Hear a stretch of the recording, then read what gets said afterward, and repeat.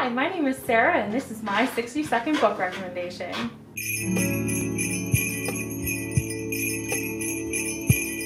So my recommendation is The Dire Days of Willowweep Manor. It is a gothic romance graphic novel for anyone who is fans of the likes of Wuthering Heights and any other of the Bronte girls books. It is about a girl named Haley who lives in modern times. She gets sucked into the world of a gothic romance novel. She saves a drowning boy, goes to a manor, finds out that it is all full of all sorts of secrets and um, drama.